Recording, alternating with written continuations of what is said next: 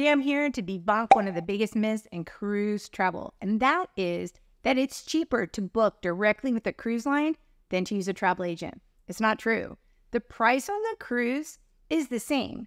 The commission is built in. So you either are going to give that commission back to the cruise line or give it to a travel agent who's going to help you by, of course, helping you book your trip, but they're also going to give you a perk of some kind. It could be onboard credit, it could be a specialty dining meal, it could be a bottle of champagne to your room. Last week, I had a chance to sit down with Rob from Cruise Sea-kers, who is a travel agent, and he shared all the ins and outs of using a travel agent along with lots of tips and tricks.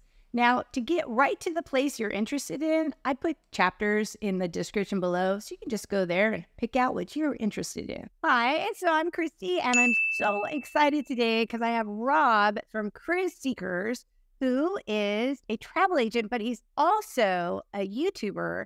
And that's how I originally learned about him is I was just going and you know, watching different YouTubes and Rob came up and he was doing, I think you were doing, mm, I'm sure it was a Celebrity cruise. It, it yeah, it kind of seems like you, your recent cruises have been on Celebrity.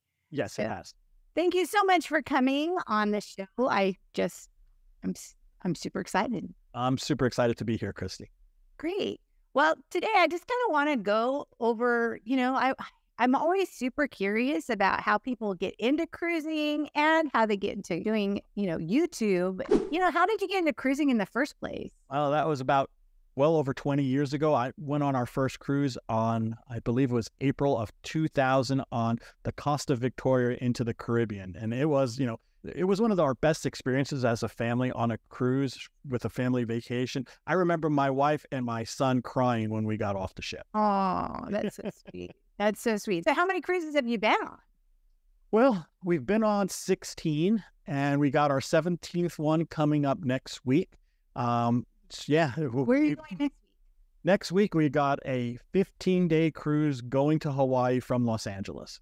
Oh, wow. That is awesome. And what, well, who or what are you selling on? Want to be on the Discovery Princess out of LA. I don't think it takes 15 days to sail to Hawaii, does it? No, it takes five days. Okay. Um, so you get to Hawaii in five days. Okay. Uh, and then you pop around the islands for four days, and then we head on back. And they stop at Ensenada because you got to stop at a foreign port. Okay. So we stopped okay. at Ensenada, and then we head back up to LA. We talked about you becoming a, a cruiser. And then how about becoming a travel agent? Like, well, that's relatively recent. Um, we only started this up about a little over a year ago, right around that time frame. I would say a little over a year ago, where we booked our first true client at that time. Um, and it's it's been a wild, wild ride. We kind of built that from our YouTube community. Um, it was just a natural progression. We were cruising more, we wanted to cruise more, and it was just a natural way to just say, you know what, we really love doing this. And we talked to some travel agents when we were on cruises before, and we said, we can do this. And that's when we started up, me and my wife. So, Rob, you know, what's the benefit of booking with a travel agent? First thing is, you're going to save money all the dang time, no matter what, whether it's not cash in your pocket right off the bat you're going to get something. You're going to get onboard credit. You're going to get uh, uh, maybe tips to pay for your you know, your room steward or your waiter, those type of things. Um, you might even get specialty dining with some places. You're going to get something. So if you don't book with a travel agent, you're basically taking money out of your pocket and you're just lighting it on fire. I learned that when I was just talking to you know people on the cruise ships when I was traveling before I booked with a travel agent. I said, uh, I got to get into that. I like onboard credit. I like free meals. I, I like not having to pay for the tips out of my pocket. So that's when we started. And then eventually you start getting to know your travel agent more and you start hearing things about group rates, which I'm like, what the heck are those? Do I have to be like the same person that is over there that's like a knitting group? They go, no, no, no. These are promotional group rates. Um, they just use it to sell into these um, cruise ships with, with great rates to kind of promote to their clients to get them on ships and get people cruising. So that's when I learned about group rates. I was like, oh, cool. I don't have to sit with the same people or, you know, those people. That's great. It's just like my own vacation, but now I'm saving money. It'd be pretty hilarious if you're like, oh, I've got a great group for you. And then you get there and you're like, oh, they're a bunch of underwater basket weavers. Yeah, exactly. And I, should have been not like my type of people, but hey, I saved money. I'll eat dinner with you. That is so fun. So, you know, for people out there that don't know what onboard credit is and how can you use it, can you kind of explain that? You talked about that is one of the perks. Yeah, so onboard credit is basically something you can use on the ship for anything you purchase on the ship. And some cruise lines, even such like such like Royal Caribbean and also Celebrity, you can actually use that onboard credit for anything you want to purchase before you get on the ship through their cruise planner. That's another nice thing. It's the way you can like kind of defray some cost. You can even use it in the dang casino. If you want to take like $100 onboard credit and put it through the machine and see if you can make it $200, go right ahead. They don't mind. Um, you just got to make sure instead of putting cash into that machine, you just charge your uh, gambling to your room so that it gets offset by the onboard credit that gets attached to your portfolio. I I did not know that. So that's that's kind of cool. So what happens if you win big? Then if you even if you use that onboard credit to gamble, then you just cash that out as money. And that's another little interesting kind of trick. Some people do this. They might actually go to the machine, play for like ten dollars, right? And then cash out their onboard credit too. And now they got cash to mm. use even offshore. So there's a little tip right there too. Some people do that to kind of pull money out of their onboard credit that they had if they had a ton and they figure they're not going to use it on the ship, but they might use it on shore. You can kind of fool the system, game the system by pulling the money uh, out through the casino. That's genius. So you, just to make sure, not that I have a bunch of onboard credit, but let's just say I had five hundred dollars onboard credit. I uh-huh. go to the casino. I say that it's my work that I play for like pull out five hundred dollars, right? Yeah, and then get a ticket. Yeah, then you get a ticket. Get a ticket, and they hand me cash, five hundred bucks. Oh, ah, that is a great tip. Know, that's awesome. I love that. I never knew that. That is a great tip, which is another reason to use your travel agent because then you get great tip. When I first started cruising, you know, you'd see these advertisements. Oh, you can cruise for five hundred dollars going, you know, to Alaska. And now that I've cruised, I know that there's some other costs. So, what are some hidden costs that maybe new cruisers want to know about? Well, you know, you got your typical, you know, it's all market speak, right? When you hear this $500 per person, you know, or whatever, you might even see something along the line of $25 per night, right? Per person. Mm-hmm. So, you know, they're trying to get you in with the lowest possible rate. There's other fees associated to this as well. You got your taxes, your fees, and your port expenses right off the bat. You're going to always have that. There's also something called, we kind of alluded to this beforehand, called your automatic gratuities. That's the money that will go to your cabin steward and to your wait staff and a lot of people behind the scenes, not just the people that are doing that direct service to you. Um, they all take part of that tip pool. So that's why I always recommend to keep that tip on your portfolio all the dang time. But that's a hidden cost, right? If you're traveling to the cruise port and you're driving, that parking at the cruise port can be pretty, pretty darn pricey. So always understand that. You also got to think about what my airfare is going to be. Sometimes people just think, oh, the last time I went to, you know, to Florida, the airfare was $200 round trip. It's not $200 anymore, folks. The airfare has gone crazy. Understand, you know, airfare might have changed since the last time you went. So always think about that as an extra expense in your budget. Make sure you take care of that. Excursions. Excursions are costly, especially if you go to Alaska. Alaska's got one of the highest priced excursions. I'm learning now that Hawaii has very, very high priced excursions. So you got to kind of adjust your budget for those type of things if you want to do it. Now, you don't have to do excursions. You can just walk around the port and kind of just see how it's all about. But if you want to kind of truly visit the place, budget that. Yeah, I mean, I definitely we're going to Alaska this summer, and we're started booking some excursions. And like you said, Alaska, the ports, because we went last summer, you know, they're just these small little towns. So that's not really why you're going to Alaska. You're going to Alaska to get like a real feel of Alaska definitely, definitely budget in your excursions. So is that something you help people with? You help them like decide which excursions to take? Do you book excursions for them when you do book excursions? Are you booking excursions through the cruise line? It all depends upon what the people want. Some people want to book through the through the cruise line and they're not very tech savvy. I have some, you know, older clients and they just say, "Hey, can you help me with this?" and I help them with that. Do travel agents cost money? How much do they cost? Can you talk a little bit about that? Sure. Well, some travel agents do charge a fee. I don't. Some of them do. We get a commission from the cruise lines. Every, every, every booking has a commission in there, whether you book it with the travel agent or whether you book it with the cruise line. The, the, commission's already built into the fee that you're paying. You're just making a choice Do I give it to a travel agency or do I give it back to the cruise line to pay for their call centers? And that's basically all it is. It's nothing more than that. And because of that, we are taking on the role of the call center, the role of customer service for the cruise line. So people say, well, you're being paid by the cruise line. Why are, you really, truly, honestly a advocate for the passengers? I'm like, yeah, because we are your customer service. That is the role that we take on when we accept that commission. So without those clients, we have nothing. We are exclusively there for you. Wow. So that's so interesting. Who would even know? Like that is something as a new, you know, I'm a I'm a newbie. So as a newbie, I would never know that. I would never know that they're just taking the money as opposed to allowing, you know, a travel agent to to get that money. Some of these larger agencies, right, that that are trying to get as many people into their funnel as possible, um, you're only really kind of just shuttling money around, right? Instead of being in a big call center with the cruise line, you're being in a big call center with another big travel agency, such as, you know, cruise.com that a lot of people see, or, you know, some other big ones, Costco, for example, right? Every time you call in Costco, you're calling into a call center. You never know who you're going to get. And so it's the same thing when you work with a local travel agency, it's different. You get our cell phone number, you get my email, you get our 800 number, someone that will pick up rather than it being straight to voicemail. Now, if you do get voicemail with me, it's mainly because I'm on the phone with another client. But the funny thing is, is I usually get back to you within 10, 15 minutes. It's odd that I don't get back to a person within an hour. I've experienced that. The first time I reached out to Rob was on New Year's Day.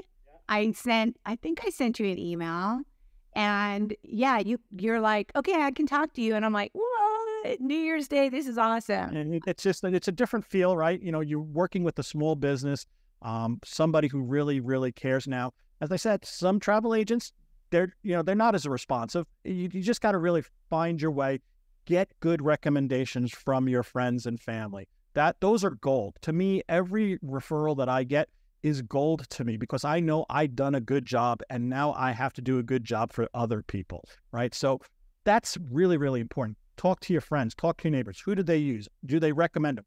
Make sure you ask the question, why is your travel agent the one you use? And really key into that, you know, responsiveness because that's what you're going to want. Because when things go south, the travel agent is going to be your advocate, whether you're off the ship, on the ship, whatever. They can get people moving in the right direction to get your situation resolved. you said a lot there. So what I'm hearing is, is when you do get a travel agent, you want a travel agent that's going to respond. You want a travel agent that's available and and so eh, what I'm hearing is you can be on the ship and have some kind of issue and you can reach out to your travel agent even mm-hmm. from the ship and they can maybe remedy the problem. Nowadays with Wi-Fi on the ship, right? I have, you know, if you have the ability to, you know, I have an Apple phone, and if you have an Apple phone, you can iMessage with Wi-Fi. It's awesome.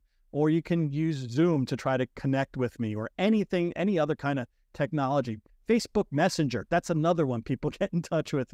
Now, working with the cruise line, they'll be perfectly happy in working with you and getting things resolved for you. But if you don't think it's up to snuff, it wasn't a good enough resolution, you think, and you just get nowhere, that's when they call me and they say, Rob, this doesn't seem right. This is what they're doing. This doesn't seem right. And we fix that.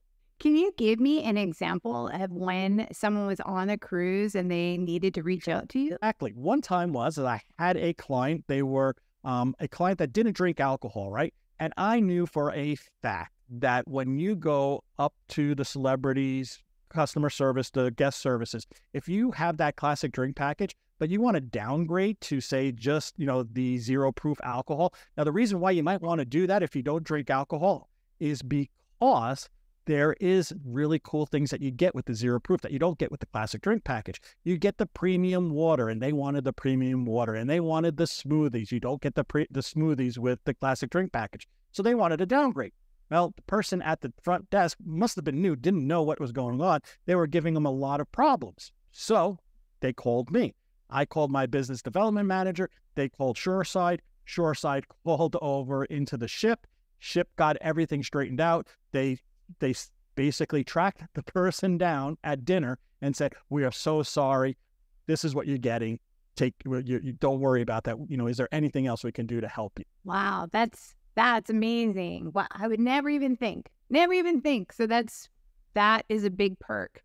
So we have the we have those kind of benefits. So you're saving money because of group rates. You're saving money because of online onboard credit or other perks that you will get by using a travel agent. So let's go on the other side. What are some downsides for using a travel agent? Well, there's really none if you use me or a good travel agent. Yeah, yeah, yeah. The downside is, though, if you do have one of those ones that just don't respond, right? That can be really, really tough. You're in a bad situation. You need to get something straightened out and you can't get response. So that's one bad thing some big cruise um, travel agencies, such as Costco, if you book a cruise through Costco, you're not going to be able to use that, you know, move up program or royal up program. That's the bidding to get a suite or to bid to go from an inside to a balcony. Um, some of these big cruise um, travel agencies don't allow their clients to use those facilities. That could be a negative downside for um, using a travel agent if you use one of those type of travel agencies. So again, do a lot of research who you are using to try to avoid those pitfalls. Because if you avoid those type of situations, there is absolutely no negative reason to use a travel agency um, if they are responsive, if they get you good rates, if they will make sure you are an they're an advocate for you, and there's really no downsides whatsoever. Here's another question, um, just about do you help with or do you have advice for travel insurance? I know that's a big thing that every every YouTuber that I've watched is get travel insurance. And I did my first time, I just got it through Princess. Uh-huh. No, Holland America. And then since then, uh, I I don't, but I, I still get travel insurance. But can you tell us a little bit about travel insurance?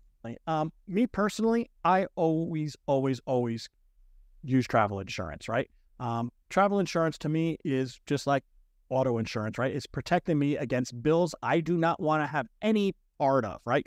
Now, everybody's need for travel insurance is different. Some people are little are able to be able to accept more risk, right? I don't care if I lose the money for the uh, part of the cruise, but all I do care is is that if I am airlifted off the cruise, I'm covered, right? So there's different travel insurance for that. So you don't have to bring in cancellation and trip interruption insurance. You can just have something that has a pretty good coverage for medical evac and medical additional medical coverage. And you can keep your rates pretty low because of that. And that's the really cool thing about talking with a travel agent, because a lot of people don't know you can do something like that. And you know, that's what we can do and help you like, I wish that I would have used, you know, you or a different travel agent the first time my cruise because there's so many things that I know now that I didn't know then. So, what are some things that first time cruisers, by using a travel agent, you're going to kind of steer them in the right direction? People don't know about loyalty programs. That's one, right? Hey, do you have a loyalty number? Loyalty number? What's that? And I help them set that up. That's number one. Number two, how do I book excursions? They have no clue, right? They don't know that you can create an account on the, you know, with the cruise line and go see exactly what they offer. Well, how do I do specialty dining? You know, I help them out with that. Well, where should we go? Have you ever been on this ship and we, where would you go for specialty dining? Well, what do you like? Do you like seafood? Do you like steak? Do you like Italian food? Do you like uh, teppanyaki? Do you have a lot of kids that, you know, teppanyaki to me is a great, great, great specialty restaurant if you have kids.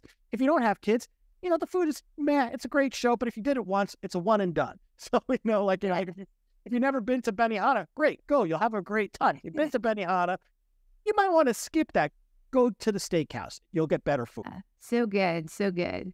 Well, I am just had such a great time talking to you today. And I, I think we've probably covered the gamut, maybe not everything. So, those of you out there, if you have questions, can you tell us where they can get to you, Rob? How, how are they going to get? If you want to reach me, you can call 1 800 874 1847. Extension 1 brings you to me, Rob. Extension 2 brings you to my wife, Cheryl. Great. Well, thank you so much. It was really fun talking to you. And I learned a lot about using a travel agent and just travel in general. And I just so appreciate your time. No problem. Anytime, Chrissy. All right. Happy sailing. Take care.